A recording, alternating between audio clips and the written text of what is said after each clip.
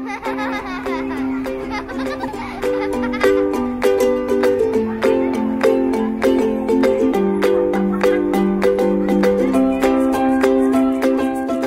Mary's Catholic Primary School is committed to providing the safest possible environment for all children, staff, family and visitors. Parents are responsible for supervising their children until they have entered the school grounds in the mornings. Children are to be dropped off as close as possible to the Kavanagh Street walkway entrance. The Kiss and Go zone is clearly marked by the sign posted on the fence and green paint on the gutters.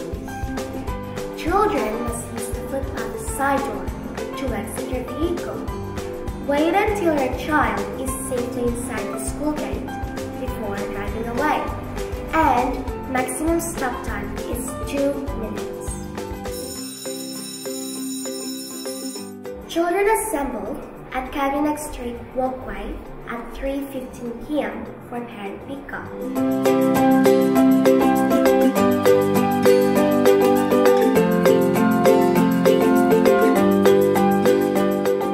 Kiss and Go Zone Safety Considerations. The Kiss and Go Zone commences on Lindsay Street. Please observe a 20 kilometre speed limit. Children must enter and exit the vehicle from the footpath side. Use the footpath side door when entering and exiting the vehicle. Please do not congest the Lindsay and Kavanagh Street corner.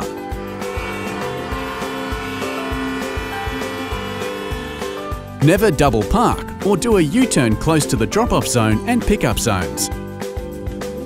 We encourage parents and guardians to ensure their child is inside the school gate before driving away.